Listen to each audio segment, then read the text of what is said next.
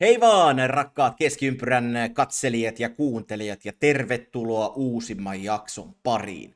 Tällä kertaa meillä on mukanamme kaksi vierasta. IFK Mariehamnin tuore toimitusjohtaja Jimmy Vari sekä AC Oulun tuore keskikenttäpelaaja Aleksi Paananen, Aleksi Diego Paananen tänään keskiympyrässä mukana. Ja aloitetaan tosiaan Jimmy Varilla, joka oli äh, aika mielenkiintoisessakin roolissa tämän kauden aikana. Oli siis äh, mukana Daniel Nurmeenin tuossa valmennustiimissä IFKssa.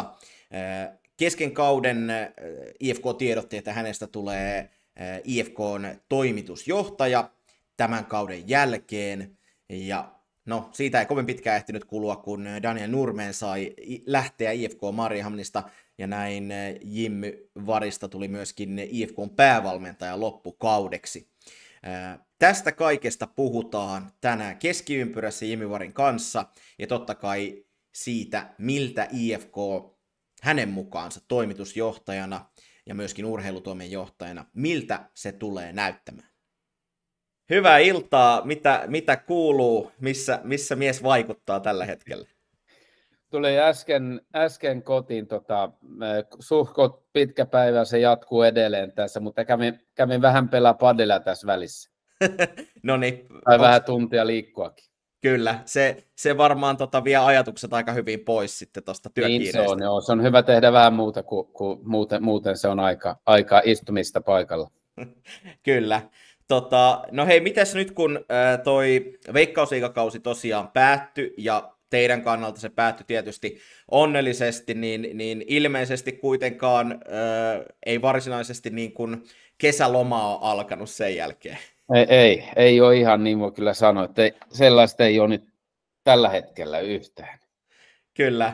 Tota, ö, miten just tuossa puhuin ennen kuin tulitkin linjoille ja, ja, ja nostin sitä jo tuossa niin kauden aikanakin, että se oli erikoinen tilanne sulla, jos mietitään tuota viime kautta, että sä olit valmennusryhmässä mukana, susta tehtiin tulevaisuuteen toimitusjohtaja, sitten nousit myös päävalmentajaksi, eli olit siinä niin kuin petaamassa itsellesi sitä pestiä tavallaan, että sanoin just, että se on varmaan, se olisi hyvin erilaista tällä hetkellä, jos oli sitten valmistautumassa ykkösliigaan, niin olla siinä toimitusjohtajana kuin nyt Veikkausliigassa.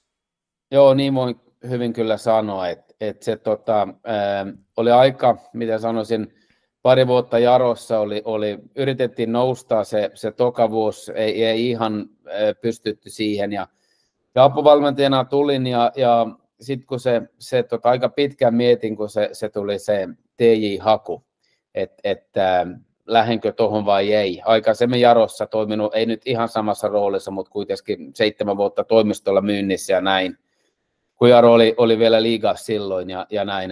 Sitten mä hain sen ja, ja sain sen, joten olin jo, miten sanoisin, valmistautumassa siihen pestiin ja sitä, sitä työtä, mitä, mitä olisi ollut hyvä, jos olisi pystynyt ehtinyt tehdä ennen kuin kun tota, varsinaisesti se, se pesti alkaa. Mutta sitten yhtäkkiä tuli, tuli tota, kutsu siihen päävalmentajan rooliin ja, ja sehän oli silloin, että et me oltiin pienellä, pienellä tripillä, että meillähän oli Honka vieraissa kapissa, mm. hävittiin se 1-0 ja sitten sit oli pari kolme yötä äh, tota, Eerikkilässä ennen äsikopeliä. Ja silloin siinä välissä tuli, tuli tota kutsu, että nyt susta tehdään päävalmentajana ja, ja, ja vaihettiin ja, ja se, tota, mä sanoin, että mä voin ottaa se yhden pelin. Mm. Että sitten katsotaan, kun tullaan Seinäjoelta kotiin. Ja, ja se Seinäjoki pelikin oli sellainen kokeilu, että ihan vikan minuutti tuli niille 3-2.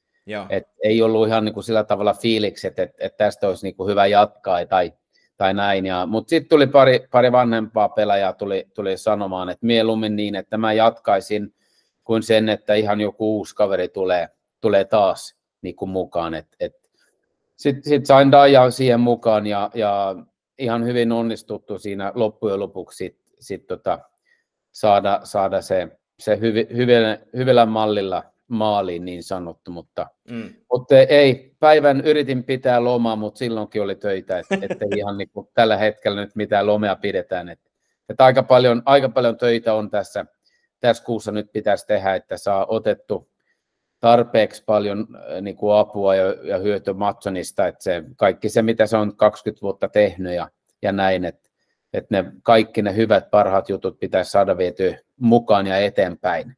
Ja samalla sitten pyrin aika paljonkin tuomaan vähän omia juttuja mahdollisimman nopeastikin mukaan siihen. Mm, kyllä. Niin onko Peter Matson vielä siinä mukana sun apuna jotenkin? Joo, nyt rinnalla vai? tällä hetkellä, mm. että et muuten ei olisi mitään mahdollisuuksia saada, saada niinku kaikki viety, viety tota maaliin. Et pari viikkoa tässä ihan tehty jopa eri juttuja, että et mä, on, mä on enemmän siihen niinku sponsorointihommaan ruvennut käymään läpi ja, ja miettimään sellaista, ja hän on sitten hoitanut nämä myöskin nämä ensimmäiset eh, pelaajat, niin kuin sopimusneuvottelut ja näin, jotta mä oon, mä oon pystynyt tehdä ne muut jutut. Ja, ja nyt, nyt varsinkin, kun, kun nyt huomesta, huomenna aamulla on, on sitten se eka johtokunnan kanssa eka, eka juttu ja kosken päävalmentaja, että et sitten se on niinku enemmän sit mun juttu se päävalmentaja.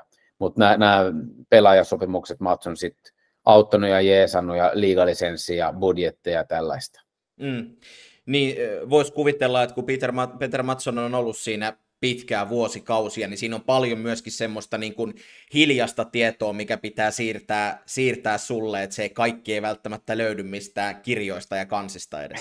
Ei, ei näin on, että, että se on, se on, mä en tiedä, jos, jos sä oot nähnyt, mutta sen, sen tota pöytäkirja, että, että siellä löytyy, veikkaisin, tuhat, pari tuhatta paperiakin, vi, viisi, kuusi metrin korkoiset pinot, että et siinä on, siellä on kaikki, mutta mut suuri osa on kuitenkin sen, sen pään sisällä, että kyllä mm. löytyy kuitenkin jonkun verran, verran myöskin tietokoneessa, mutta, mutta siinäkin tulee olla aika iso, iso muutos veikkaa myöskin, että millä tavalla ja miten, miten niin kuin sen homman tullaan, tai mä tulen tekemään.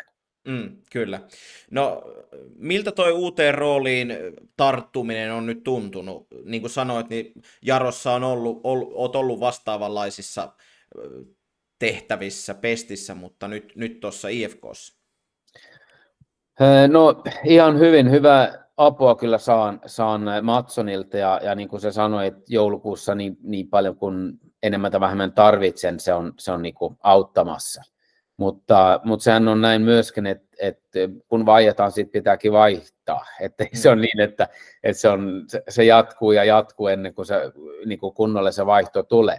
Et, että ensi kuun alusta mä on sit, niin kuin, ei nyt yksi, mutta se, joka päättää asioista kuitenkin. Et, et, tota, äh, ihan mukavalta on, on sillä tavalla tuntunut, kun sai se, se loppu, loppui hyvin, jos näin sanotaan, että, että iso yleisö ja voitto ja näin, että, että sieltä tuli niin kuin hyvä energia mukaan tähän, että on, on nämä pitkät päivät ihan mukavasti pystynyt tehdä ja käydä ne, ne, ne jutut läpi ja se on kuitenkin suhkot tuttua juttua, se, se myynti- ja sponsorointihomma ja myöskin joukkojen rakentamista, mutta nyt totta kai se on veikkausliiga eikä ykkönen, missä, missä viimeksi rakensin joukkuetta ja, ja näin. Mutta nyt tärkein on kuitenkin saada, saada päävalmentaja mahdollisimman nopeasti ja my, myöskin apuvalmentaja siihen päälle. Mm, kyllä.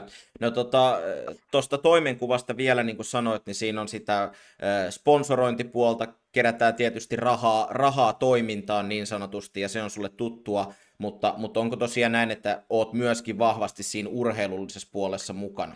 Joo, kyllä se on näin, että se on, se on äh, niin kuin jaettu. Se, se TJ-homma, se tarkoittaa sen, että mulla on, on myyntiä, mutta siellä on, on toimistossa myös toinen kaveri, joka auttaa myynnissä. Et me ollaan pieni organisaatio, kolme kaveria siinä, siinä to, to, toimistossa ja minä ja toinen hoitaa myyntejä. Ja, ja sitten mä oon äh, niin urheilutoimenjohtaja, sports director niin sanottu, että se on mun päätökset, ne, ne pelaajat, jotka tulee ja ja, ja niin poispäin. Kaikki skauttamiset ja muuta kuulu, kuuluuko siihen. Mm, kyllä. No niin kuin tuossa jo muutaman kerran sivusitkin, nyt, nyt on se tärkeä, varmasti se tärkein palanen on saada se päävalmentaja, koska se varmasti vaikuttaa myöskin siihen pelaajistoon ja, ja pelaajatkin varmasti odottaa sitä, että minkä päävalmentajan valitsette tai kuka sinne tulee, niin pelaajat tekee sitten päätöksiä. Ää, kuinka pitkällä sen kanssa nyt ollaan? Nyt ollaan tässä pari viime, viime vuotta nähty, että, että Ruotsista on tullut päävalmentaja IFK, onko se nyt mahdollista tai lähellä? On se mahdollista, mutta, mutta myöskin hakijoita Suomesta on, on hyvät ehdokkaat, että, että ollaan tehty Matsonin kanssa tämä eka, miten sanoisin, niin kuin jakelu ja, ja näin, koska ne on aika paljon ollut. Ja sitten sit huomenna aamulla veikkaan, että sen jälkeen löytyy neljä, kuusi kaveria, jolle sitten tullaan Teams-palverit pitämään, tai sitten jos he pystyvät paikan päälle tulla ihan parin päivän sisällä tai viikon sisällä, että saadaan tutustua niihin sillä tavalla. Ja, ja silloin veikkaan, että on, on niin kuin sekä Ruotsista, Suomesta ja, ja myöskin niin kuin muualta, muualta ne, jotka tulee, tulee sitten eh, haastatteluun niin sanottu. Mm. Löytyykö sieltä ehdokkaista semmoisia, joilla on veikkausliika valmennuskokemusta? Löytyy sellaisiakin jo. No niin, mutta nimi, nimiin et varmaan mene vielä tarkemmin. Ei, ei, ei voida tässä vaiheessa mennä. Että se on, se on tota, tänään on, on vielä niin kuin haku auki, että, että ihan tässä tunti sitten tuli, tuli vielä kaveri niin kuin mukaan kehiin, että, että se tota, vielä on muutama tunti. Kyllä. Tuossa muuten nähtiin, just tuli mieleen, taisi olla eilen sosiaalisessa mediassa, ää, brittiseura, en nyt muista mistä alasarjoista, he etsii, etsii sinne työntekijää football managerin kautta, niin football manager pelin kautta, niin tota, näetkö mahdollisena tulevaisuudessa, että IFK hakee myös sitä kautta? En, en, en kyllä näe, näe, ei ainakaan tässä vaiheessa. Se on varmasti, varmasti muutaman vuoden päästä ainakin ennen kuin siihen mennään. kyllä. No tota, mm, joukkuetta on kuitenkin jo pystytty vahvistamaan jonkun verran tehty jatkosopimuksia myös nyt viimeisimpänä, kun tässä, tässä tota, tätä kun nauhoitetaan, niin Sebastian Dahlströmin äh, sopimus IFK julkaistiin. Äh, missä tilassa näet, että joukkueen rakentaminen on tällä hetkellä? Se on näin, että, että tota, me, me tullaan ähm, nuorentumaan joukkuetta ja ryhmä, että liian vanha oli, oli se keski-ikä viime vuonna. Ei nyt tarkoita sitä, että ei kukaan vanhempi kaveri saisi niin kuin jatkaa, mutta, mutta niin kuin näin, näin keskimäärin ainakin. Ja, ja sitten meillä oli selkeästi liian iso ryhmä viime vuonna. Et, et siinä tullaan rakentamaan 18, ehkä 19 plus veskarit. Ää, veskari tulee olemaan veikkaan kolme kappaletta ja, ja näin. Ja sitten tulen pyrimään olemaan miten sanoisin, tarkempi siinä, että, että missä pelipaikassa meillä on niin omia kasvattajia, joilla on eh, mahdollisuus ja jotka ovat niin tarpeeksi hyviä, niin kuin, niin kuin, että ne pystyisi pelata myöskin veikkausliiga. Tällä hetkellä on, käydään neuvottelut muutaman omien kanssa, jotka jo viime vuonna oli mukana. Toivottavasti molemmat jatkuu ja se tarkoittaa sen, että sellainen kaveri kuin Dahlström sit Ähm, tukee niiden niin kuin kehitystä hyvin. Mm. Vielä toinen keskikenttäpelaaja ollaan, ollaan hakemassa, joka kans pyrimme siihen, että, että jos on sitten nuorempi tai vanhempi, mutta mut sillä tavalla kuitenkin, että se olisi niin kuin selkeä vahvistus. Ja sitten olisi pari omia, ja, ja sitten jatkosopimusta, sillähän on jo Usman Suleman, Robin Sid ja myöskin Oskar Sallinen pystyykin keskikentällä pelata. Että että ei siihen niin kuin tuodaan sit kolme neljä kaveria ja sitten sit suljetaan pois mahdollisuudet omille kasvatille niin kuin saada kunnon, kunnon näytön paikkaa. Mm. Vähän sillä tavalla, tavalla ollaan rakennettu. Ja sitten myöskin meidän pitää ottaa huomioon se homeground-sääntö, että sen takiakin on ollut tärkeää, että nyt kiinnitetään vähän, vähän sellaisia pelaajia, jotka oli viime vuonna mukana ja haluamme, että, että ne jatkaa meillä. Ja myöskin jos on mahdollista saada ulkopuolelta sitten vahvistuksia. Ja, ja toivottavasti tässä ihan muutaman päivän sisällä tulisi, tulisi tota pari muutakin. Mm, kyllä. Ö, vieläkö, vieläkö neuvotellaan sellaisten pelaajien kanssa, jotka, jotka viime kauden, nyt päättyneen kauden joukkueessa oli mukana, mutta, mutta ei ole vielä sopimusta? Joo, kyllä tehdään jo. Kyllä.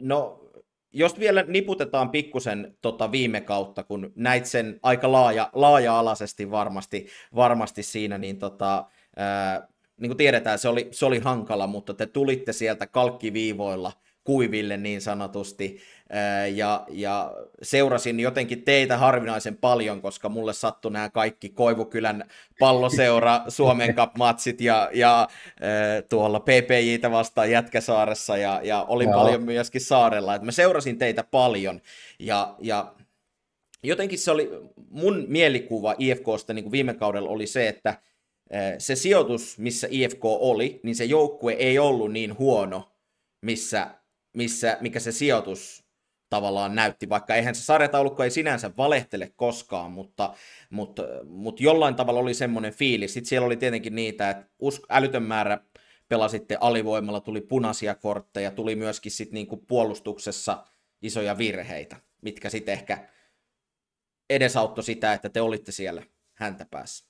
Joo, mä oon, mä oon eh, samaa mieltä, ja kun on vähän, vähän tota, eh, käynyt läpi se kausi, se alkoi oikeastaan äh, tota ihan ekasta pelistä Ilves kotona. Et silloin on, on puolajalla 1-0 meille, ja sitten meillä on, on kulma, 42 pelattu tai jotain, missä on harjoiteltu kuvio, mm. ja, ja mistä sitten vedetään, onko se 10-11 metri maalista, ja ylärima ja yli. Ja ei tullut sitä 2-0 just ennen taukoa.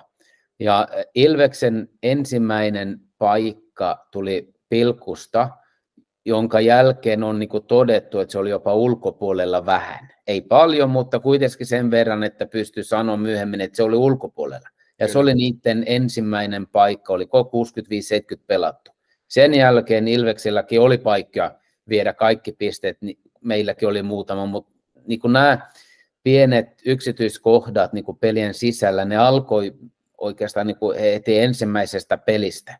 Sitten meillä on Lahti kotona 2-3, missä ollaan pari kertaa johdossa ja, ja aika törkeitä virheitä. Ja siinä oli muistaakseni neljä, kolme neljä peliä peräkkäin, missä vastustajalla joka ikinen laukaus, joka meni maalia kohti, meni maalin. Se oli niin kuin Lahti-peli ja pari muuta siinä. Ja heti siinä alussa tuli vähän tuollaista, että, että ei ihan niin kuin käänny meille.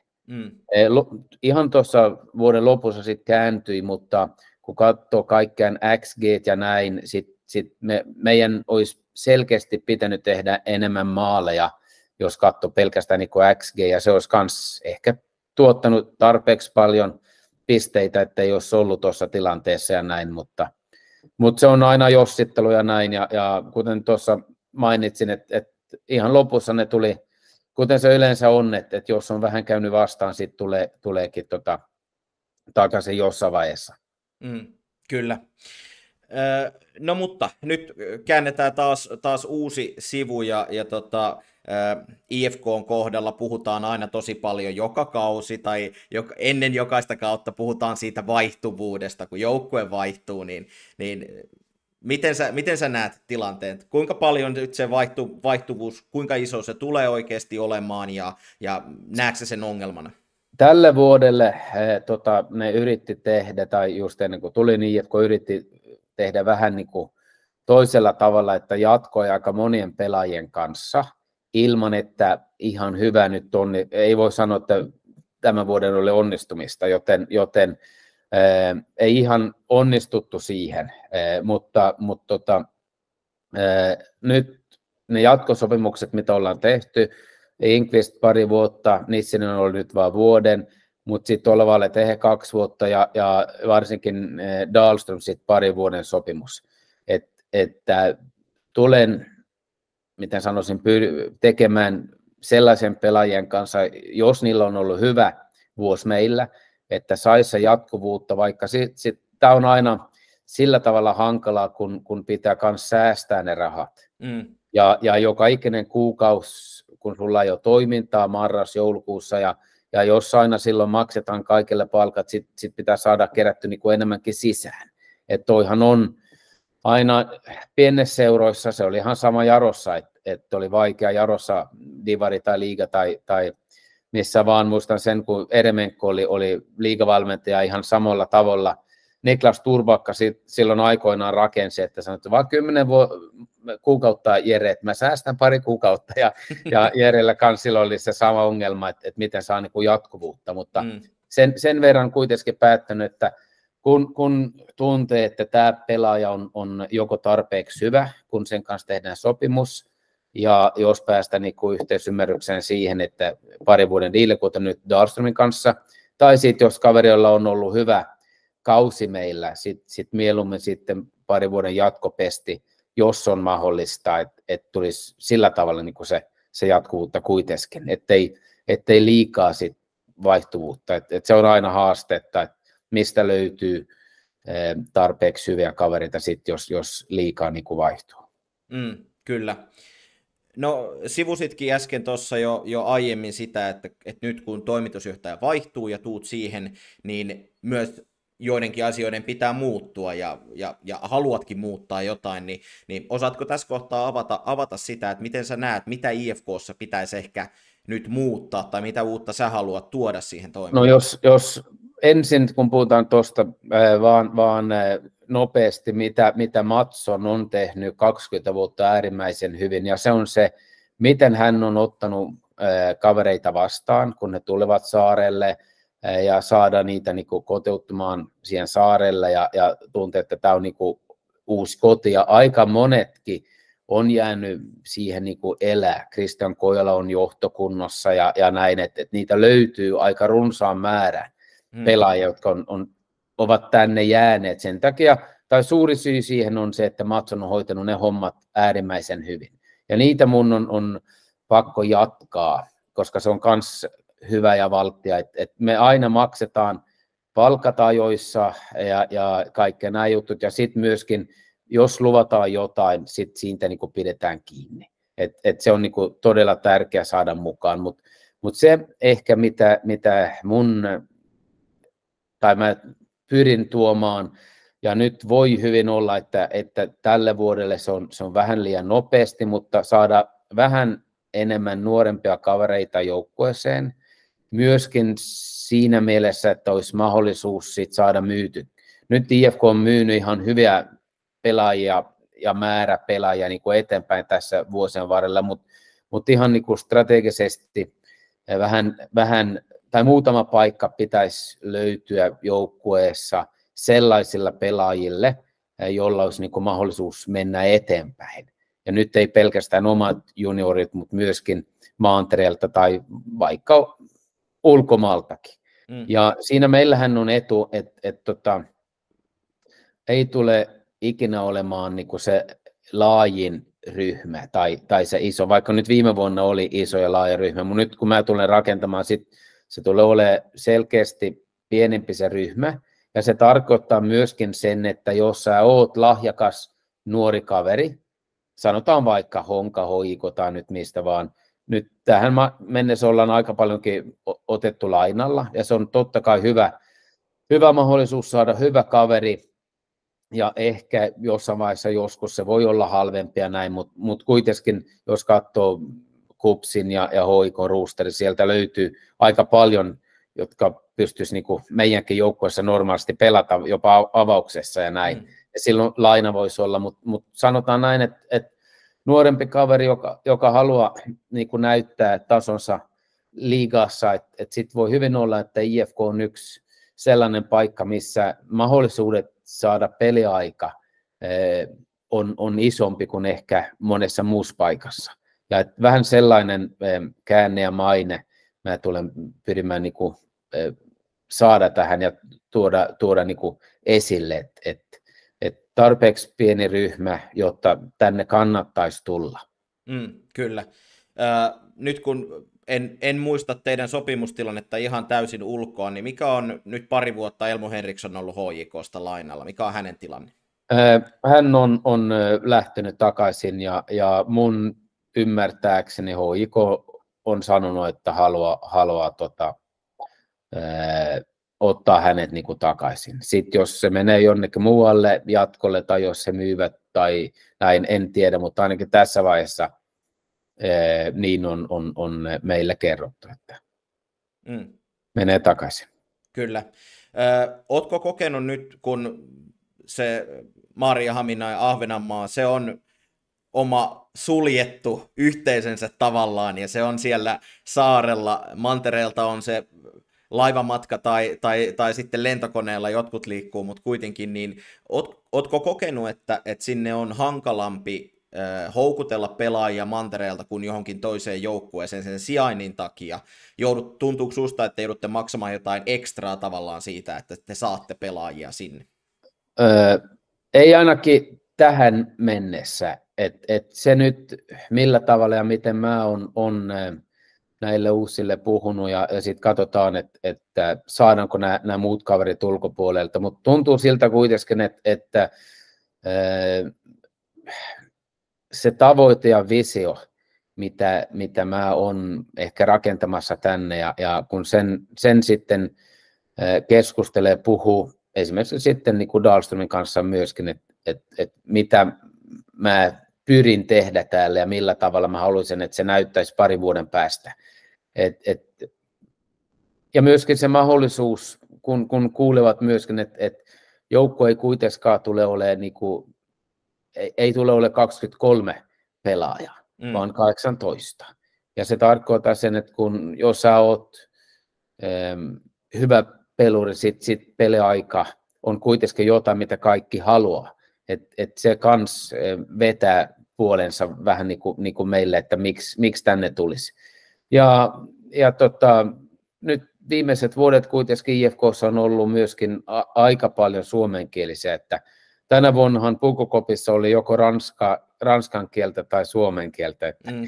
siellä oli 5-6 äijä, äijä, jotka puhui se, sekä tota, tai sama määrä, jotka puhuu ranskaa ja, ja suomea, sitten selkeästi vähemmän, jotka puhuvat ruotsia niin kuin tänä vuonna. Mm, kyllä. No millä tavalla sä, sä koet, jos, jos niin kuin lähdetään siitä, että kun puhuu ihmisten kanssa IFK Mariehamnista, siis sellaisten ihmisten kanssa, jotka ei ole seuran kanssa tekemisissä, niin tuntuu, että se mielipide IFKsta on vähän kaksijakoinen. Toiset rakastaa sitä, että siellä on IFK, joka on vähän siellä se on kiva, kiva matka saarelle sekä joukkueelle että varsinkin kannattajille aina. Eh, se on vähän eksoottinen verrattuna muihin veikkausliikapaikkakuntiin. Sitten on paljon niitä mielipiteitä, jotka toivoo, että IFKsta päästäisiin eroon veikkausliigassa, ei tarvitsisi matkustaa enää sinne ja, ja sanotaan, että siellä ei ole niin kuin kasvupotentiaalia ja riittävästi sitä kulttuuria, niin ää, miten sä näet ton IFK on tavallaan sen kasvupotentiaalin. Mä uskon ainakin toimitusjohtajana, että sä näet, että sitä on kuitenkin olemassa. Joo, sitä on ja, ja sitä on aika paljon, jos, jos, mun, jos musta niin, niin kuin kysyy. Sen ymmärrän, että että tota, tänne on, on, voi tuntua vähän hankalalta tulla ja näin, mutta mut mä, mä veikkaisin, että se oli myöskin silloin, kun oli, oli pieni nurmikenttä ja näin. Nyt on kuitenkin iso ja hyvä kenttä, mutta meidän pitää tehdä se vielä tulevalle vuodelle niin kuin vielä hankalampi vastustelle. Nyt tänä vuonna on liian helppoa tulla tänne ja, ja viedä pisteet, että se pitää, pitää saada niin kuin muutettu, mutta sen, että, että IFK ei olisi niin kuin kulttuuri, kun on pelkästään HIK ja, ja Inter, jotka ovat peräkkäiset vuodet ollut enemmän veikkausliigassa kuin IFK, että, että siitä olen vähän niin kuin eri mieltä. Aikaisemmin aika monetkin omia junioreita nousu IFKssa silloin, kun he nousivat, tässä onkin vuosien varrella myyty vähän omia jopa ja näin. Nyt viimeksi pari vuotta sitten Oskar Wieglö Freiburgin, että en ole ihan samaa mieltä siinä, mutta, mutta sen mitä nyt tulevaisuuden tulen vähän niin kuin satsaamaan on, on myös, kun nyt Ekenes nousi, että, että nyt saatiin toinenkin ruotsinkielinen joukkue tai, tai seura tänne Veikkausliigaan, mutta mut laajentaa se yhteistyö ruotsinkieliselle alueelle ja, ja varsinkin niin kuin Pohjanmaalle, kun siellä ei ole nyt muuta liigajoukkoja kuin Vepsu ja, ja Seinäjoki. Ja se ei ole aina niin helppo, eh, onko sitten, eh, mistä kaveri tulee, onko se Jarosta tai Vaasa IFKsta tai mistä vaan mennä, mennä niin kuin Vepsun Seinäjoelle. Siellä ei ihan niin kuin ne, ne kuviot ovat aina niin hyvät, että et mennään seurasta toiseen. Et että saadaan se verkosto niin kuin enemmän auki, jotta, jotta niillä olisi helpompi tänne, tänne tota matkustaa ja tulla, koska jos katsoo nämä viimeiset vuodet, aika paljon pelaajia Jarosta ovat lähteneet eteenpäin, Olysan ja HJK, sitten sulla on pari Vidjeskugia Ruotsissa, toinen Kupsissa toinen, Vaasa IFKosta sulla on Hokas, joka nyt myytiin Norjaa, ja sitten on Strengi Seinioille, ja mä en näe, miksei tällaiset kaverit, etteivät tulisivat IFK niin kuin jatkossa. Et mm. Sellaista yhteistyötä me, meidän pitää saada rakennettua. Ja sitten myöskin toiseen suuntaan Ruottiin, että et nyt on silloin tällöin Ruotsista tullut vähän pelaajia, mutta mielestäni ei ehkä tarpeeksi hyvin on, on kuitenkin tehty se skauttaamista ja, ja rakentelua niin kuin sitä varten, että, että sieltäkin olisi vähän helpompi nuorena kaverina tulla IFK ja, ja siellä on aika isot markkinat, mihin, mihin voisi vois kasvaa, niin kuin kasvaa. Jos miettii pelkästään tota, Ahvenanmaalaisia ja näin, sitten se menee vähän vuodesta toiseen. Välillä tulee vähän enemmän, vähe, välillä tulee vähän vähemmän omia ylös, mutta mut aina silloin, kun tulee, miten sanoisin, potentiaalia, hyviä kavereita, että sitten pitäisi myöskin pystyä varmistaa sen, että, että niillä annetaan kunnon ma- mahdollisuus onnistua. Kuten esimerkiksi mainitsin tuossa, että, että toivottavasti saada nämä, nämä kaksi omia keskikenttäpelejä jatkamaan. Mm. Ja mikäli he jatkavat, sitten sit se, ne muut keskikenttäpelaajat, jotka siihen tulevat, pitäisi olla, nyt Dahlström on toinen, haetaan vielä toinen, pitäisi olla niin kuin selkeä vahvistus ja myöskin auttaa ne omat kasvaa ja, ja päästä niin omalle potentiaalille niin sanottu. Mm, kyllä. No miten sitten talouden vinkkelistä, niin muistaakseni taisi olla tuossa Iltasanomien ennakkolehdessä ennen viime kautta, kun puhuttiin TV-rahoista, mitkä nyt on kasvanut huomattavasti. TV-rahat, UEFA-rahat on jossain siellä 500 000 euron tienoilla, mikä jokaiselle seuralle tulee. Ja oli kysytty, että mihin jokainen kukin seura käyttää niitä rahoja, niin siellä oli maalailtu kauniita kuvia öö, ties mistä, että osa junioritoimintaan ja fasiliteettien parantamiseen, stadionin parantamiseen. Öö, Peter Matson ainoana vastasi, että se menee suoraan pelaajapudjettiin. Öö, miten, miten sä näet, miltä toi IFKn talous näyttää tällä hetkellä? Pystyttekö te kehittämään olosuhteita, stadionia, vai, vai onko se, onko, se niin kuin, onko se noin konkreettisesti kädestä suuhun elämistä? pienessä seurassa, ja, ja kun katsoo nyt Suomen jalkapallo, että et tuntuu siltä, että, että aika monella on, on enemmän tai vähemmän vähän, vähän talousongelmia ollut ja näin. IFK on aina pystynyt maksaa kaikki velat ilman mitään lainoja ja näin. Se on, se on aika mallisuoritus, kun miettii, että 20 vuotta pyörittänyt liigassa sellaista, mutta mut, äh, äh, miten sanoisin, mulla on aika paljonkin ajatuksia, miten saada se, se sponsorointihomma myöskin vähän viety eteenpäin ja vähän, vähän toisella tavalla, koska löytyy kyllä raha saaressa, että et pitää sen saada vaan tehty oikein, että, että sponsoritkin kokevat myöskin, että, että saavat hyötyä tästä – niin kuin IFKn toiminnasta ja, ja sen takia, että he ovat siinä niin kuin mukana. E, mutta totta kai se, se kaikki rahat, mitä, mitä niin kuin UEFalta tai liitolta ja näin e, Veikkausligasta tulee, e, TV-rahoja ja muuta, ovat niin kuin hyvä apua siihen arkeen. Et sen veikkaan, että kaikki ovat, ovat sitä mieltä, että ne ovat tervetulleita, kaikki ekstra raha, mitä, mitä, mitä voi tulla. Ja toihan on iso ero verrattuna siihen 10-12 vuotta sitten, kun, kun viimeksi oli tällaisessa tilanteessa Jarossa hakemassa sponsorin rahaa ja, ja, ja näin poispäin. Et se on asia, mitä on, on saatu hyvin viety eteenpäin. Mm, kyllä. No niin kuin jo aikaisemmin tässä sanoit ja, ja kauniisti puhuit, miten, miten Peter Matson on hoitanut tehtävänsä siellä, siellä IFKssa menestyksekkäästi pitkään ja IFK on pysynyt, pysynyt pitkään Veikkausliigassa. Mikä on sun ajatus 15 vuoden päästä, niin onko Jimmy Vari edelleen siellä?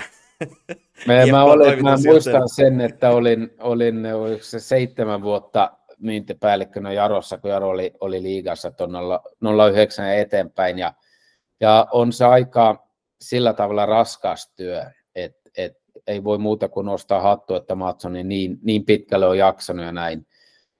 Sitten riippuu vähän, miten, miten asiat menevät eteenpäin ja, ja se on aina, aina hieno saada olla mukana sellaisessa paikassa, missä nyt, nyt pystymme ja on, on aika monet niin seuran ympärille, jotka haluavat olla mukana rakentamassa jotain.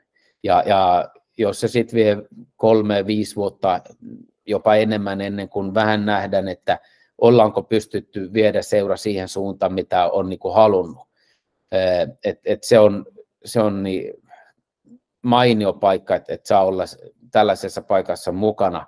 Mutta sitten on se toinen puoli Jimmy Varis, joka haluaisi olla valmentaja, mutta mm. ikä tulee sitten jossain vaiheessakin vastaan, että et nyt sain muutaman peli liigassa ollakin ja, ja hyvä näin, mutta, mutta valmentamistakin on, on, on hauska. Ihan tämä urheilutoimenjohtaja, sports director, kun se hieno nimi on, on englanniksi, tota, sellaista ei ole, ei ole tehty niin paljon aikaisemmin, kuten nyt pääsen tekemään. Ja, ja se, oli, se oli myöskin, tota, kun IFK haki TJ, sitten haki pelkästään TJ siinä, siinä tota, ensimmäisessä vaiheessa, mutta mä sanon, että, että joko mä saan sen koko pestin, matsoin pesti, tai sitten mua ei kiinnosta, että, mm. että pelkästään niin TJ-homma ei sitten mieluummin olisi jatkanut valmentajana, että, että tota, sitten suostuivat siihen ja, ja nyt mennään.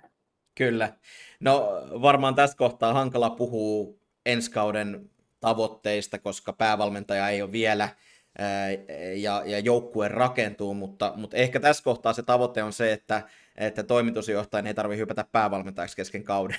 Ei, sellaista ei tule tapahtumaan. Sen voi kyllä nyt jo luvata, että sel, se, sellaisen paikan ei, ei kyllä mennä, mennään tulevalle vuodelle. Mutta mut onhan se aika selkeä, selkeä niin kuin, että et, tota, Totta kai se riippuu valmentajasta ja, ja viimeiset hankinnoista ja näin, mutta, mutta ainakin parempi e, tota, sijoitus kuin mitä oli tänä vuonna.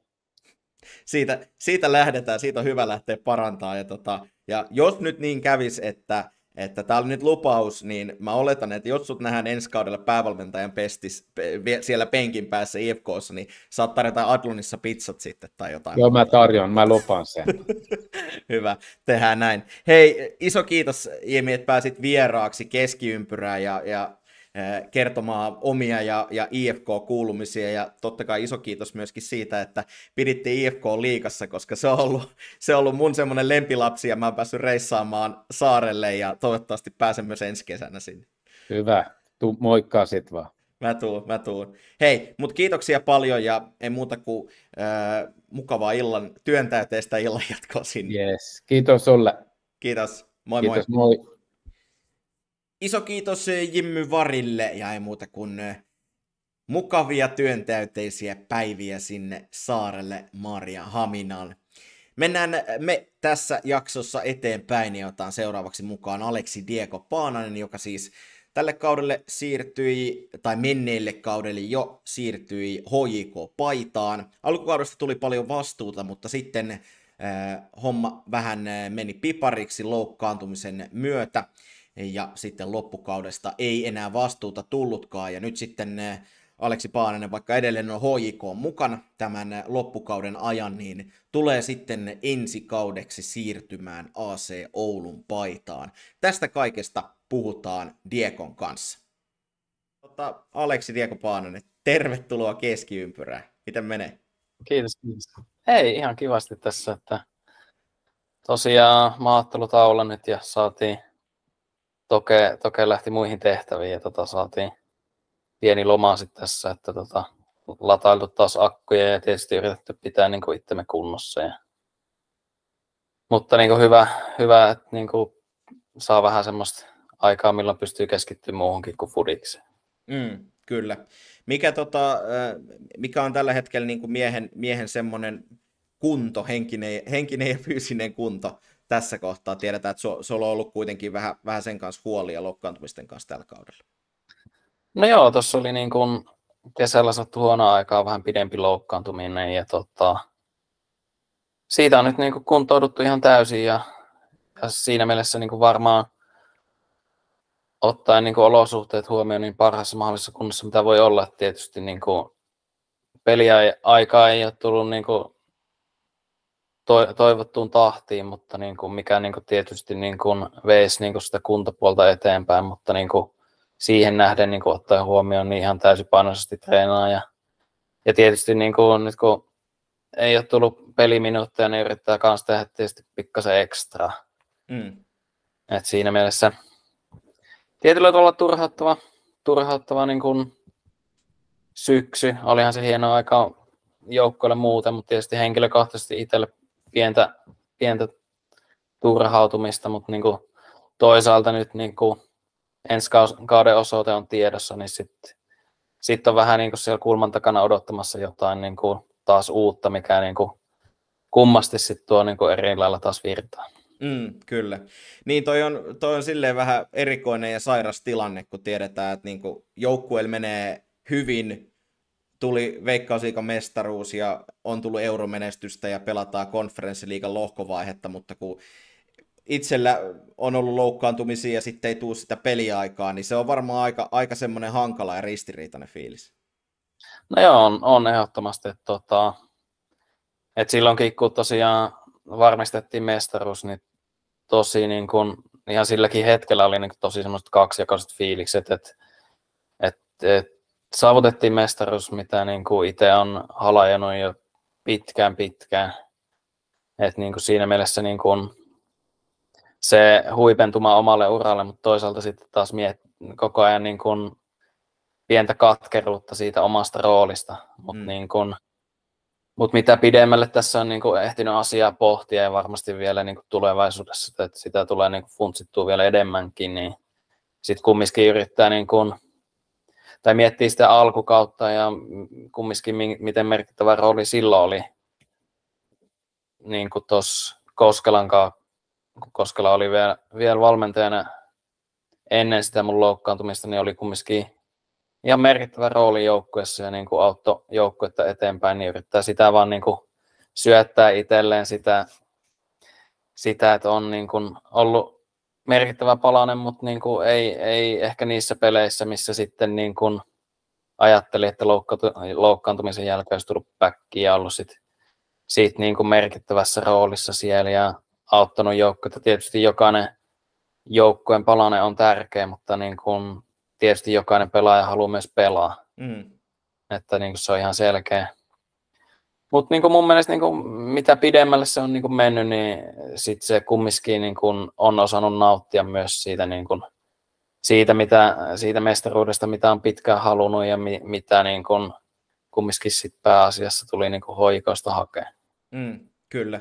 Tota, onko sulla itsellä niin kuin henkilökohtaisesti vaikeuksia löytää motivaatiota treenaamiseen tai siihen päivittäiseen arkeen, kun se todellisuus on sitä, että, että istuu penkillä tai, tai, tai ei välttämättä edes penkillä, vaan katsomossa? No en en mä jotenkin ainakaan tunnista itsestäni semmoista. Tietysti niin kun jokaiselle pelaajalle sattuu, niin kun on huonoja päiviä ja on parempia päiviä, ja niin kun, mutta en mä näkisi semmoista, että jotenkin mä aina niin kun, tai miksi mä pelaan fudista on se, niin kun, että mä vaan dikkaan siitä niin paljon. Mm. Niin jotenkin se tuntuu, että joka päivä kumminkin, kun mä pääsen sinne treeneihin, niin mä pääsen tekemään sitä asiaa, mistä mä tykkään kaikkein eniten. Niin en mä jotenkin näe sitä niin kuin semmosena, että, että se näkyisi mun motivaationa millään tavalla. Ja sitten niin kun kaikki tietysti mut niin kun paremmin tuntevat ihmiset niin tietää sen, että on, on äärimmäisen semmoinen kil, kilpailuhenkinen, että ihan sama, että pelataan me Monopolia vai Fudista vai korttia pelireissulla, tiedätkö, että, että, mm. että joka ikinen mikä juttu se onkaan, niin sen haluaa voittaa, että, niin kuin, että sitä on vaikea kääntää niin pois sitä, sitä moodia niin kuin aina kun pääsee kilpailemaan. Ja tietysti niin kuin, että se, se ominaisuus on tietysti mikä niin kuin tekee mulle aika helpoksi, että niin kuin se kilpailuhenki ja motivaatio tiukoissakin tai ehkä semmoisissa niin kuin paikoissa, missä niin kuin monesti, monesti se voisi lähteä lipsumaan, niin kumminkin pystynyt pitää sen fokuksen siinä.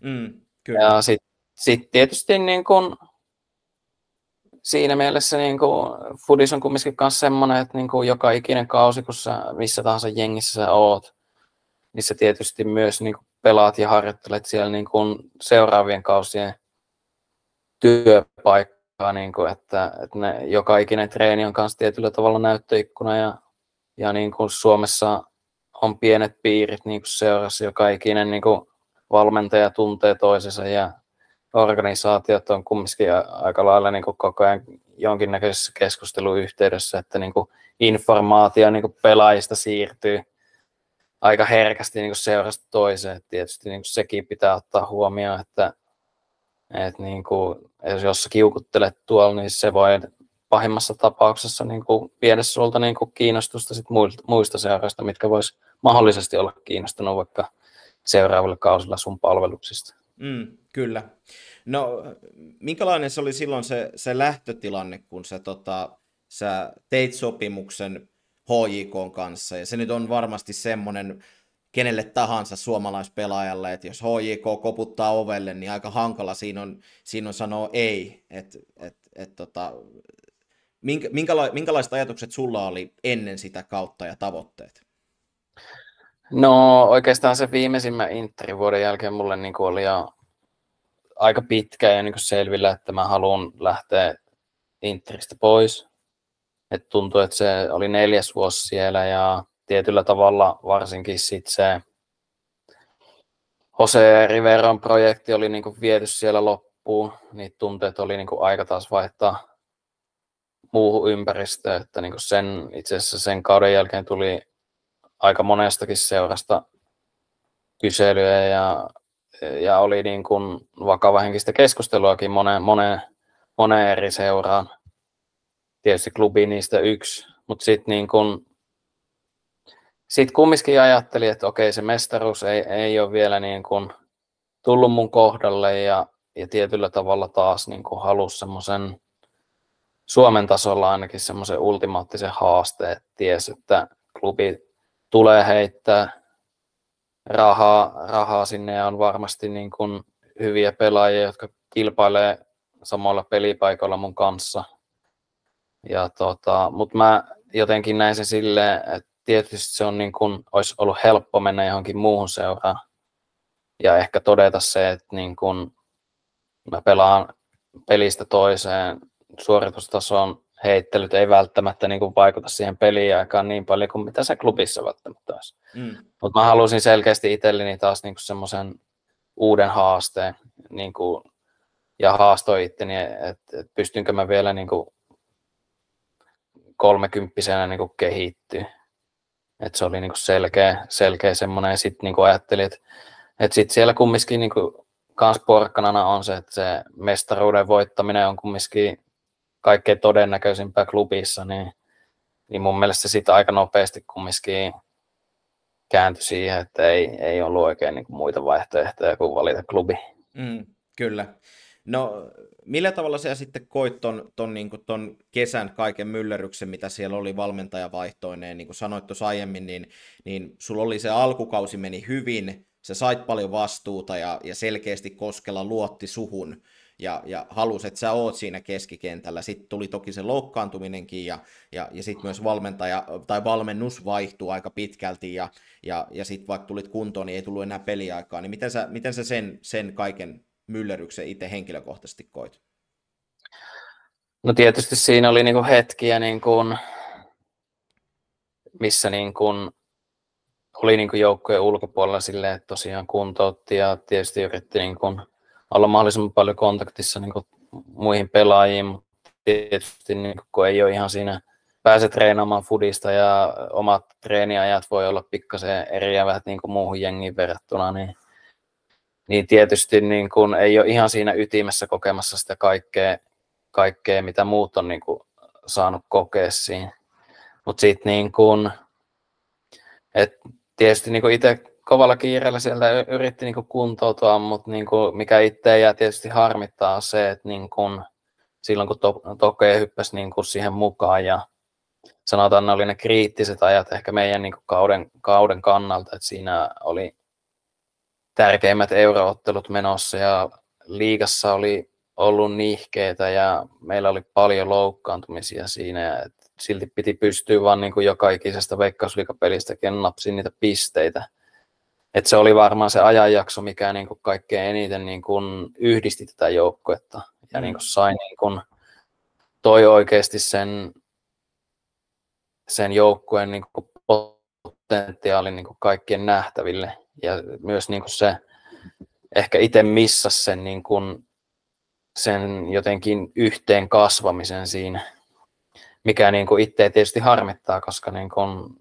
sehän on kumminkin yksi kanssa niin tämän liin suola, että, että niin kuin pelaajat voi vaihtua niin kuin vuodesta toiseen, että niin kuin, mutta tuommoista niin kuin, semmoista kasvutarinaa, niin ne loppujen lopuksi on yllättävän harvinaisia sit niin kuin Fudiksenkin saralla, että se olisi ollut hieno kokea.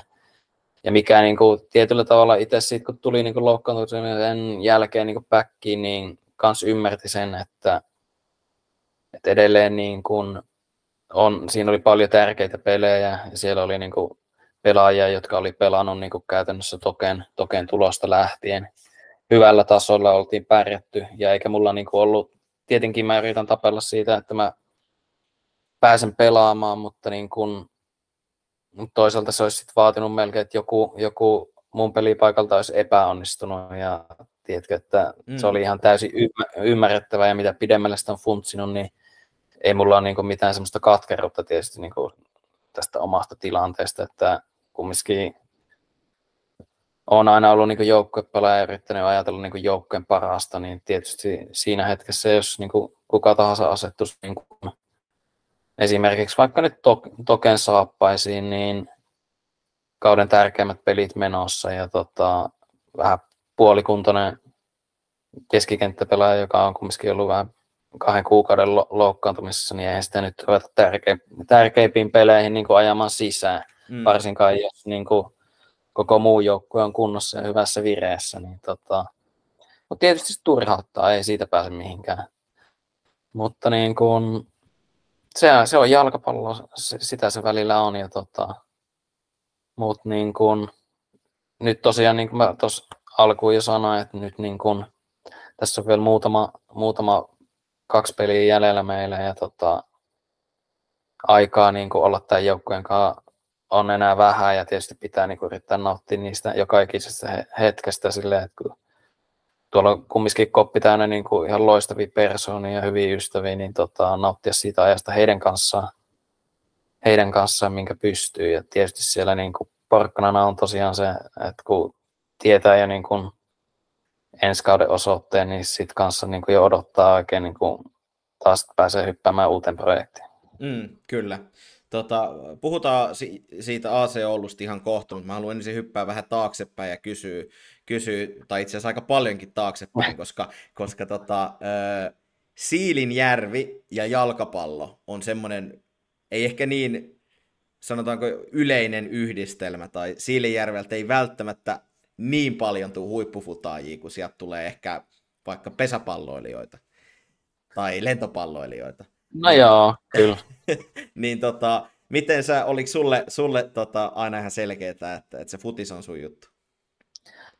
No, no itse asiassa joo, silleen, tota, mä olin itse asiassa aika vanha kumminkin, kun mä aloitin niin fudiksen, että se taisi olla, olisikohan se ollut eka-luokan niin kuin keväällä, eli käytännössä mä olin varmaan jotain 8V, että et kun mä niin kuin ensimmäisen kerran niin joukkue, joukkuetreeneihin tota hyppäsin. Siellä oli kumminkin pelaajia, jotka oli aloittanut jo 5-6-vuotiaana, että niin kuin tietyllä tavalla mä hyppäsin niin kuin ehkä niin kuin pikkasen myöhään, ja moni niin kuin silloisista niin kuin luokkakavereistakin jo oli, niin kuin, oli jo pelaillut siinä joukkueessa, ja tota, sitten mä silloin vasta hyppäsin siihen mutta niin kuin, kyllä mä niin kuin olin sitä palloa potkinut jo omassa pihapiirissä niin kuin useamman vuoden ja se tuntui, että niin kuin, no en mä tiedä miksi se oli just siihen hetkeen niin kuin päätetty, että niin kuin Faija päätti viedä mut sinne treeneihin.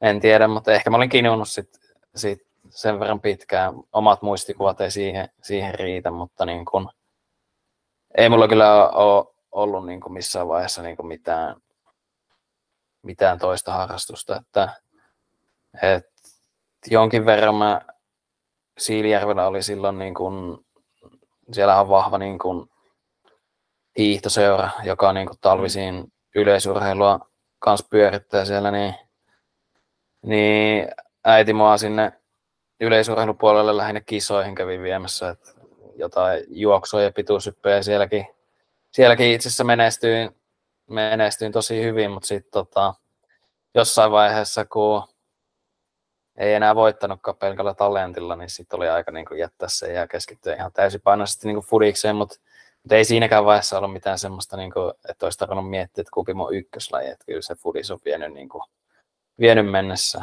Mm. tuntuuko se silloin, muistat sä niin kuin lapsuusvuosilta, e, ensimmäisiltä pelivuosilta, niin oliko sulla semmoinen fiilis, että sä oot niin kuin kentän kunkku ja paras pelaaja, vai oliko se semmoista niin kuin grindaamista tavallaan, niin kuin, että, että sun piti oikeasti treenata, että sä olit hyvä?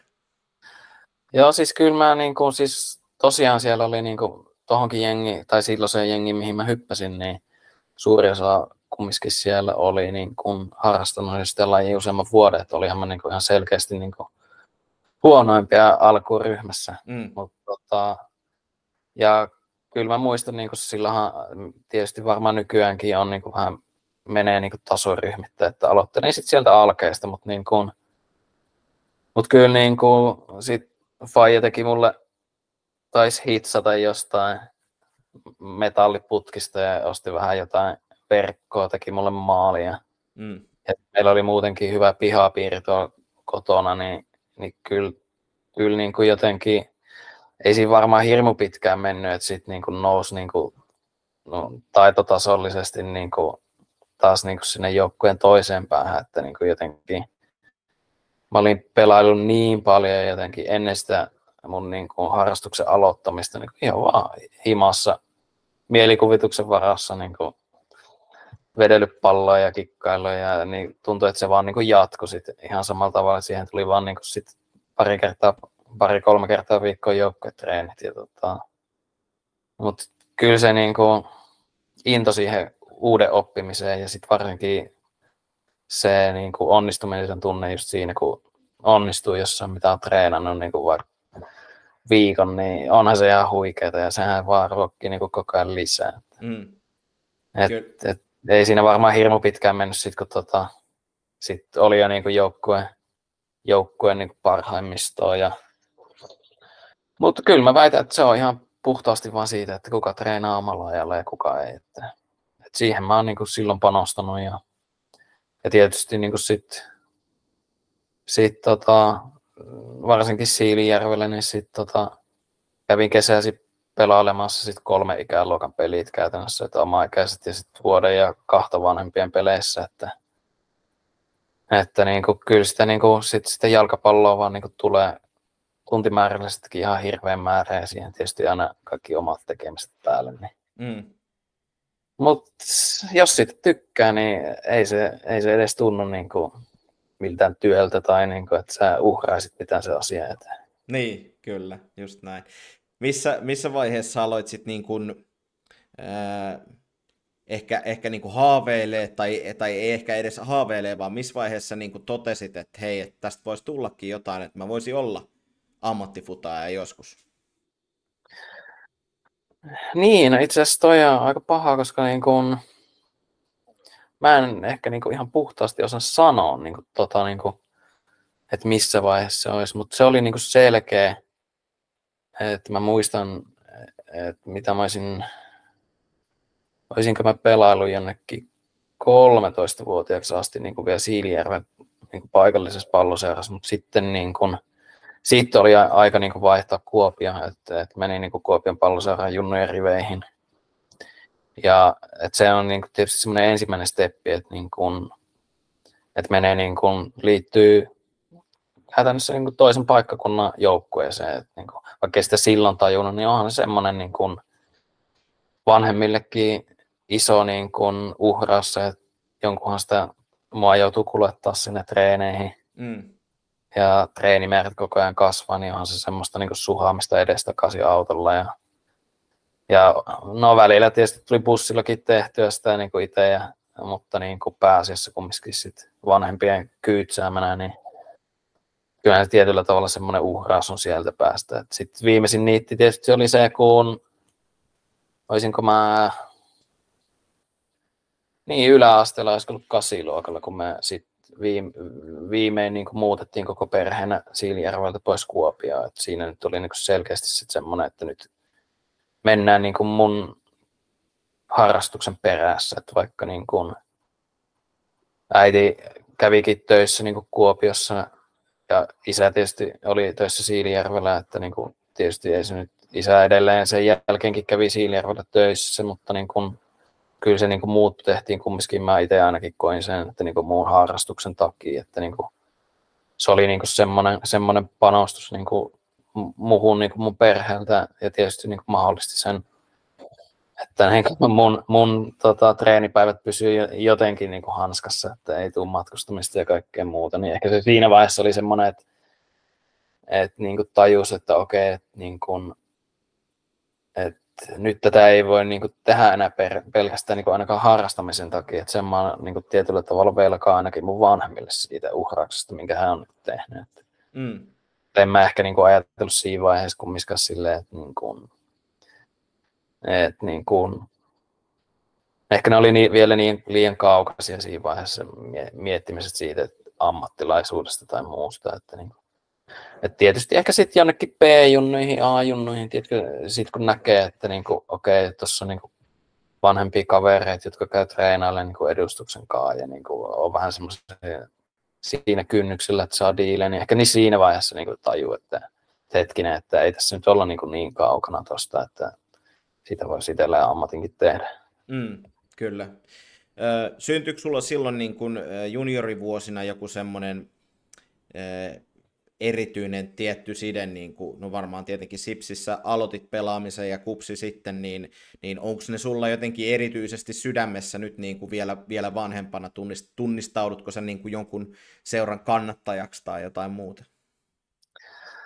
No en, en mä sille, että sanotaan, että ei nyt niin kannattajaksi. Totta kai niin kuin kaikki iso kiitos niin kuin joka ikäiselle niin kuin valmentajille ja molemmille seuroille tietysti niin kuin, ja jokaiselle valmentajalle tosiaan joka maa on valmentana. Mutta niin kuin, sitten kumminkin niin kuin, sit varsinkin, niin kuin, kun nyt on siirtynyt ammattilaisfudiksen puoleen, niin sit, sit se on niin eri maailmassa, että niin kuin, vaikka miettii junnukupsia ja tämän päivän kupsia muutenkin, niin on aina kaksi ihan eri yhtiöäkin, että niin kuin, totta kai siellä on niin kuin, ennen kaikkea ehkä niin kuin, sitä niin kuin kiitollisuutta ja niin kuin niitä ihmisiä kohtaan, kenen kanssa on saanut siellä niin kuin työskennellä ja treenata ja, ja, ja kaikille valmentajille, jotka mä oon valmentanut. Ja tietysti niin kuin moikkaillaan edelleenkin silloin, kun nähdään, ja, mutta, niin kuin, mutta ei siitä nyt ehkä semmoista niin kuin, ei ehkä kannattamiseen asti kummiskaan mennä. Että. Mm ja tuntuu just, että mitä enemmän tässä nyt on kierrellyt ympäri Suomea, niin sitä aina löytyy kumminkin se jengi, mitä se sitten kannattaa pari vuotta, ja sitten kun siirtyy seuraavaan, niin kääntyy nopeasti. Kyllä, kyllä. Ja pitää olla, pitää olla varovainen kun näiden, näiden sanojen kanssa, kun joku aina sitten kaivaa, kaivaa Joo. sieltä jostain. ja ainahan on ihmisiä, jotka pahoittaa mielensä, ja eikä se nyt ole, se kuuluu tietysti asiaan, mutta niin kuin enkä mä ole millään tavalla niin joka ikisen seuraa, missä mä oon ollut, on se nyt ollut sitten Siilijärveltä lähtien ja nyt tähän HIK, niin joka ikiseen. On yrittänyt pitää niin kuin hyvät välit ja joka ikisessä seurassa on niin kuin varmasti asioita, ei välttämättä ehkä hoideta aina niin niin nätisti kuin mitä niin kuin julkisuuteen aina tuodaan ilmi, mutta niin kuin mulle on ollut kumminkin tärkeintä, että mä niin kuin eroon seurasta ja ihmisistä hyvissä väleissä ja tota, on kiitollinen ollut ja tyytyväinen siitä ajasta, minkä on kussakin seurassa saanut viettää. Ja joka ikinen niistä on vienyt mua omalla to- tavallaan niin pelaajana eteenpäin ja myös kasvattanut mua ihmisenä, niin, niin ei mulla ole niin semmoista mitään pahaa sanottavaa kestää, kestää seurasta, mutta, niin kuin, mutta en mä nyt niin kuin koe, että niin kuin mikään, mikään seura välttämättä olisi niin kuin enemmän sydämessä mulla kuin joku toinen. Mm, kyllä. No, nyt on sitten hetken kuluttua muutto edessä Pohjois-Pohjanmaalle ja tota, mm-hmm. uusi, jälleen uusi kaupunki tulee ja, ja uusi seura äh, sulle ja tietysti teidän koko perheelle, niin tota, mikä oli AC Oulussa se, mikä, mikä vakuutti, että, että halusit, halusit lähteä sinne, sinne pohjoiseen ja, ja nimenomaan tietysti vielä, että perhe lähtee mukaan, niin se on varmasti iso tekijä. No joo, siis tota, oikeastaan silloin kun loukkaantumisen aikaan, kun se sattui niin tietyllä tavalla, mullakin oli se option käyttö sit asetettu sen verran aikaisin silloin, että se sattui niin kuin siihen loukkaantumisen päälle. Ja tietysti ihan ymmärrettävistä syistä niin kuin hoiko ei ollut haluta, halukas sitä niin kuin siinä vaiheessa käyttämään. Niin sitten oikeastaan niin kuin, tietysti sen jälkeen niin rupesi vähän funtsi, että, niin kuin, että tietysti niin pitää ruveta katsoa vähän muita vaihtoehtoja. Ja tota, Oulu oli jo niin kuin oikeastaan kesästä lähtien niin kuin jo ilmoittanut, että hän on niin kuin kiinnostunut, jos on niin kuin vapaalla ja, ja he oli niin kuin aikaisin yhteydessä ja sitten Heikkisen Makon kanssa juteltiin, juteltiin niin kuin hyvissä ajoin ja siinä sitten aika nopeasti niin kuin selkiytyi ainakin se heidän niin kuin strategia ja suunnitelmat niin kuin tuleville vuosille, mitkä niin kuin vakuutti itse itteni, että tota, et, et varsinkin jotenkin, nyt sanon välttämättä, tietysti halua sanoa mistään seurasta niin kuin pahaa, mutta niin kuin Interistä niin kuin lähtiessä niin ehkä koin just, että, niin kuin, että he, heidän suunta ei välttämättä ole ehkä se, minkä koen niin kuin itselleni tärkeäksi, että niin kuin, tietyllä tavalla koen, että niin kuin Interi rupesi niin kuin kasvattaa seuraavaksi ehkä enemmän sen niin kuin menestymisen nojalla. Ja, et tietysti itse niin kuin ajattelen sen, että se voi tapahtua käsi kädessä, mutta niin kuin en ehkä löytänyt sellaista yhteistä, yhteistä niin kuin ideaa siitä, mikä olisi yhdistänyt esim. mua ja Interiä siinä vaiheessa. Hmm. Tietysti HJK tässä välissä on ihan erilainen niin kuin kaikin puolin, mutta sitten niin kuin sitten mikä niin kuin Oulussa oli se, että niin kuin siellä selkeästi niin kuin ajateltiin, että niin kuin yritetään niin kuin olla top, seura, top kolme seuraajaa niin kuin Suomessa ja siihen niin kuin jotenkin on niin kuin vahva näkemys, että miten, me te, miten he tekevät sen ja, ja, tota, ja miten, miten sitä niin kuin lähdetään viemään eteenpäin, niin se oli niin kuin selkeästi semmoinen, mikä niin kuin herätti oman mielenkiinnon niin kuin aika nopeasti. Mm. Ja sitten sit tietysti niin kuin siinä vaiheessa vielä ei ollut niin kuin päävalmentajasta vielä, niin kuin, no ainakaan sitä ei haluttu mulle vielä kertoa, että se oli varmaan niin kuin vähän siellä vähän tota, piilossa vielä, että sitten sit kun sekin rupesi sitten vähän se valmennuspoppoon niin kuvio niin kuin selkiytyä siitä, niin sitten sit siellä oli kumminkin niin kuin, tosiaan Silvennoisen Tuomas, minkä kanssa sain tuossa niin kuin käytännössä kevään ja alkukesään tehdä duunia, niin tota, sai niin kosketuspintaa hänen toimintatapoihin ja niin kuin siihen valmen, valmennuskulttuuriin, minkälaista, niin, niin sai sitten vedettyä kanssa siihen mukaan siihen juttuun, mitä he yrittää niin tehdä. Ja, tota, ja sitten vielä jotenkin niin kuin, pitää niin kuin sanoa silleen kahden lapsen isänä niin kuin sit tämmöisiin niin kuin sopimusneuvotteluihin, ja jos yritetään niin kuin houkutella pelaajia, niin sitten sit niin jotenkin korostui myös se, että niin Oulu osasi niin kuin jotenkin vedota muuhun niin perheen suhteen kanssa tosi hyvin. Et niin kuin mm. he oli, tuntui, että he oli aidosti kiinnostunut siitä, että niin kuin, minkälaiset perhekuviot meillä on, että, että mitä lapset tarvii ja on, minkälaiset vaimon opiskelu- kautta duunikuviot on, ja mitkä niin kuin, tuntuu, että niin kuin, itselle niin kuin, korostuu koko ajan niin kuin, entistä enemmän, varsinkin mitä isommaksi niin kuin, lapset kasvaa. Mm.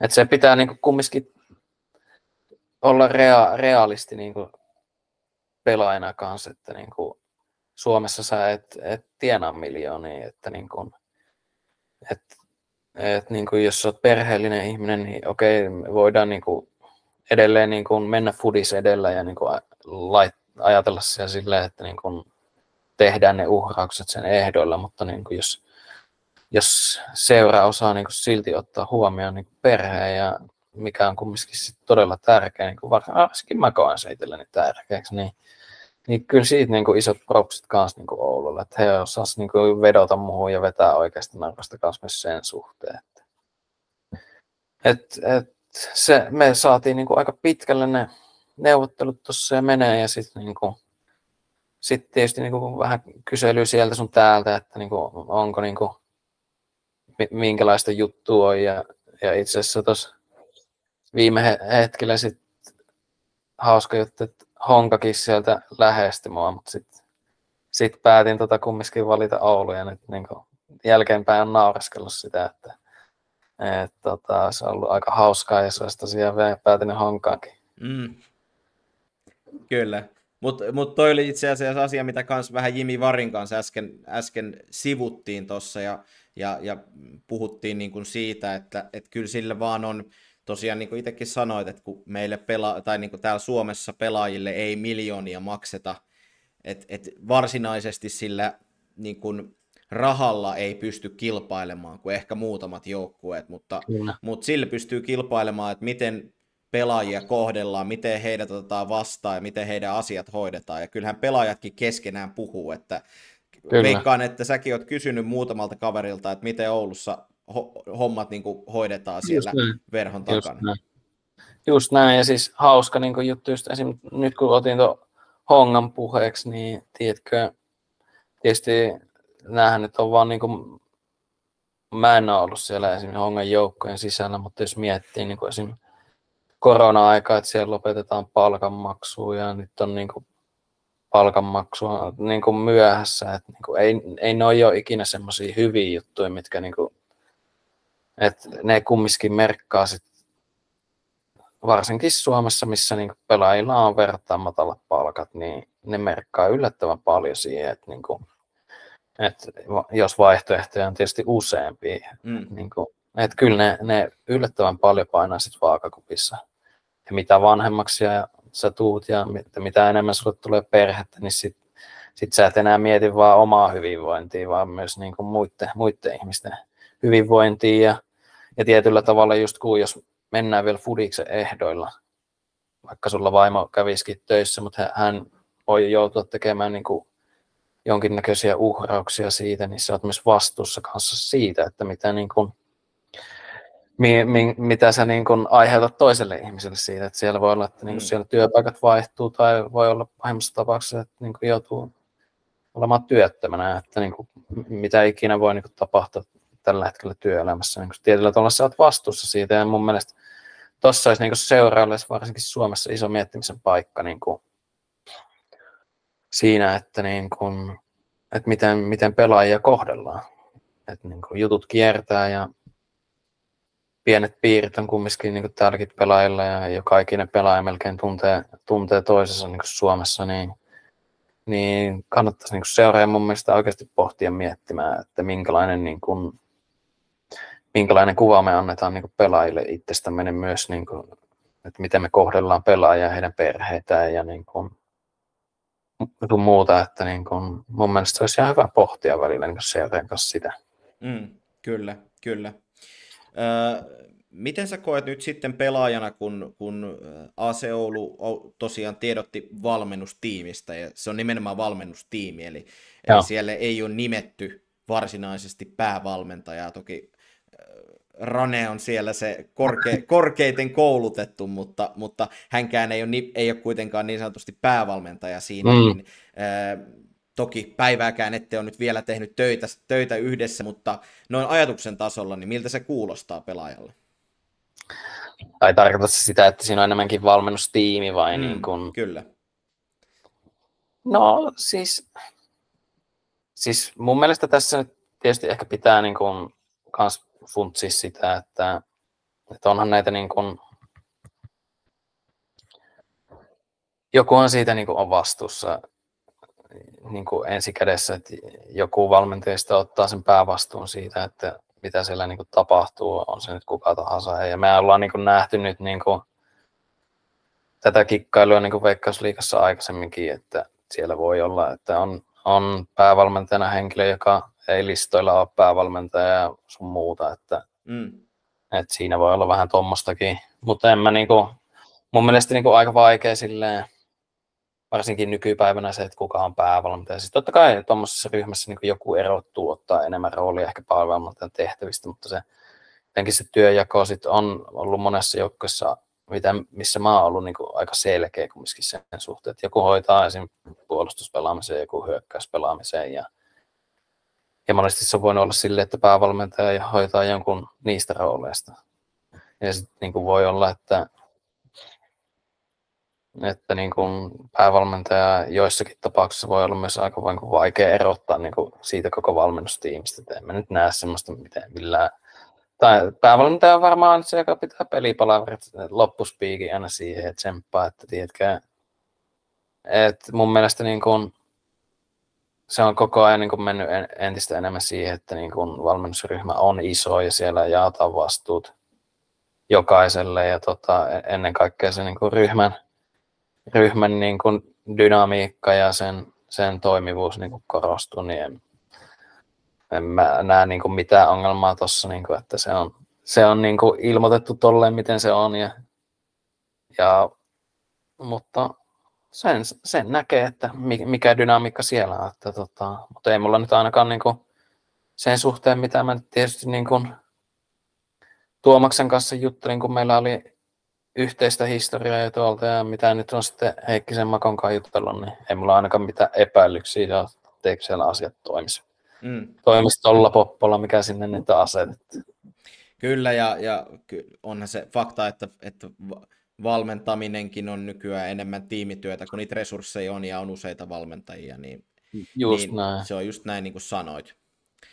Öö, no, nyt tosiaan meet AC Ouluun ja, ja tuut todennäköisesti olemaan kopissa ainakin niin kuin yksi niistä kokeneista pelaajista siinä, sulla on pitkä veikkausliikaura jo takana tässä näin, niin öö, mitä sä haluat niin kuin henkilökohtaisesti, mitä haluat tuoda siihen joukkueeseen ja, ja mitä sä pystyt oululaisille kannattele lupaamaan?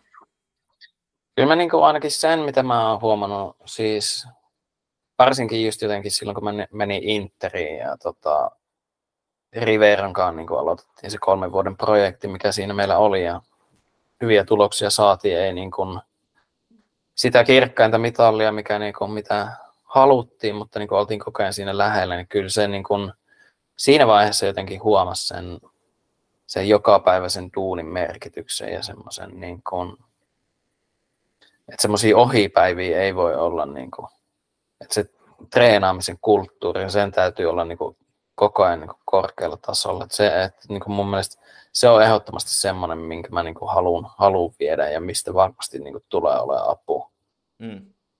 Että niin kuin, että vanha sanonta on, että, että että sä pelaat niin kuin sä treenaat. Et niin kuin mun mielestä se on ainakin pätenyt niin kuin siinä mielessä ihan täysin niin kuin, oikeastaan ihan mi, mihin tahansa mä oon mennyt niin kuin urallani. Että niin et sen mä haluan selkeästi viedä sinne. Ja kans niin kuin sit semmoisen, niin kuin, mikä niin kuin liittyy, liittyy tietyllä tavalla siihen on semmoinen niin kuin voittamisen kulttuuri. että niin kuin, mun mielestä niin kuin, toi Rivera sanoi just, just silloin hyvin, kun tosiaan niin kuin ekaa kautta aloiteltiin Turussa, niin se sana, tai silleen sanoi, että, niin kuin, että voittaminen on tapa. Että niin kuin, se ei ole mitään semmoista, niin kuin, mitä vaan tapahtuu. Että sun pitää niin kuin, oikeasti opetella voittaa myös kanssa. Mikä kanssa tulee siitä hyvästä treeni, treenikulttuurista ja siitä, että niin kuin, sulla on kilpailu ja, sulla on niin kuin oikeasti, sua haastetaan treeneissä. Ja niin kuin sä joudut heittämään itse myös niin kuin persoonan kautta niin kuin likoon joka ikisessä niin kuin treenissä ja pelissä. Niin semmoisen tietyllä tavalla se, semmoisen kulttuurin mä haluaisin niin kuin viedä sinne ja just niin kuin, että, että me oikeasti ymmärretään se niin kuin jokapäiväisen tuunin merkitys. Mm. Niin kuin varsinkin tuommoinen projekti, missä halutaan niin kuin oikeasti viedään seuraa eteenpäin viedään pelaajia eteenpäin, niin, niin ei ole varaa ohipäiviin, että niin kuin joka ikisestä päivästä niin kuin pitää pystyä niin kuin jotain ottaa mukaan. Ja, tota, ja se ei niin kuin onnistu ilman, että sä niin kuin annat niin kuin itsestäsi kaiken. Mm, kyllä. Ö, minkälaisilla, onko sulla joku semmoinen niin kirkas tavoite nyt mielessä, kun, kun tota, muuttoauton pakkaatte ja lähette Ouluun ja, ja hyppäät laivaston sinisiin, niin, tota, niin onko se, onko se se kaikkein kirkkain mitalli? Mahtuisiko sinne takareunukselle vielä toinenkin kultainen vai, vai mitä sä, mitä sä niin kuin, mikä se on se tärkein tavoite ja se maali? No kyllä mä niin kuin, kyllä mä niin kuin mitallista lähtisin kumminkin, että et, et siinä mielessä niin kuin, totta kai niin haluaisi voittaa, mutta niin kuin HIK on tilanteen niin kuin jokainen tietää ja varmasti tulee ensi kaudellakin olemaan kova. Mielenkiintoista nähdä, että mi- miten uudessa valmennuksessa lähtee, mutta niin kuin laatupelaajia sieltä tulee olemaan. Sieltä jääkin, jääkin paljon laatupelaajia sinne ja varmasti hommaavat uusia myös, niin tota, mä veikkaan, että se voi, se voi vielä tässä vaiheessa olla niin kuin liian kaukana, kaukana meille, mutta niin kuin, mutta niin sitten sen takana. Se on mielenkiintoista, että niin kuin, just niin kuin tänäkin vuonna Veikkausliigassa, niin sit, sit siellä on niin kuin VPS, mikä pelaa unelmakauden äärimmäisen huono alkukauden jälkeen, että niin kuin, joskus ne asiat, kun ne klikkaa, niin, niin hyviä asioita vaan niin kuin tapahtuu. Välillä niitä on jopa vaikea selittää, että mi, mi, mistä ne niin johtuu, mutta niin kuin, mutta mun mielestä niin kuin selkeästi niin kuin klubin takana on niin kuin tosi tasasta ja niin kuin siellä hyvällä suorittamisella sä voit niin kuin päästä ihan mihin tahansa, niin mun mielestä se mitali on ihan realistinen tavoite meille lähteä tähän kautta. Mm, kyllä. Ja tietysti sitä kautta yrittää tuoda niin kuin europelit Oulu, että se olisi kanssa niin kuin hienoa. Että toivottavasti päästä pelaamaan sit niitäkin vaikka uudelle stadionille. No niin, toivotaan siellä saisi sais tota, vihdoin senkin projektin taas eteenpäin. Siinä on ollut ihan riittävästi Kyllä. haasteita, mutta jaksetaan uskoa, että sekin nyt kähtää siellä jossain vaiheessa Kyllä. siihen pisteeseen, että päästään oikeasti rakentamaan. Just näin. Hei, tota, iso kiitos tota, Diego, että pääsit vieraaksi keski, keskiympyrää viettää iltaa. Oli, oli kiva jutella ja kuulla Joo, ajatuksia. Joo, oli oikein kiva jutella tällä loman keskellä palata tähän juttelee fudikseen. Ja... se on just näin, mutta ei, toivottavasti... niin. ei mukava jutella oikeasti niin ihmisten kanssa, jotka on kiinnostunut fudiksesta. Että, että niin tähän kuluttaisi aika ihan mielellään. Että, Kyllä. Että, on paljon huonompiakin tapoja viettää iltaa kuin tämä. On. on. Se on ihan totta, mutta toivotaan nyt, että, että, tota, että saat lomalla tehdä vähän jotain muutakin kuin ja kyllä varmasti, joo. Jauhaa pelkästään fudiksesta. Just näin. Yes, mutta hei, kaikkea, kaikkea hyvää tulevaisuuteen ja, ja ennen kaikkea sinne Oulun suuntaan ja palataan jossain kohtaa taas asiaan. Palataan näin. Yes. yes. Moi moi. moi. Iso kiitos vielä Oleksi Paanaselle vierailusta keskiympyrässä ja kaikkia hyvää hänelle sekä perheelle sinne Oulun valloitukseen, sitä kautta tietysti koko Suomen valloitukseen. Tässä oli kaikki keskiympyrästä. Tällä kertaa maajoukkuetauon jälkeen jälleen jatketaan live-lähetysten parissa, mutta voi olla, että jotain pientä tiiseriä on tulossa myös reissun päältä tuolta Boloniasta tai San Marinosta, missä meikäläinen paikalla huuhkajien ottelussa San Marinoa vastaan. Kannattaa siis ottaa keskiympärän Twitch-kanava haltuun, käykää seuraamassa sitä, niin sinne tulossa kenties jotain pientä live-maistiaista paikan päältä, mutta jaksojen suhteen palataan ensi viikolla sitten asiaan. Ää, nyt ei muuta kuin oikein paljon kiitoksia seurasta ja nähdään, kuullaan taas. Moi moi!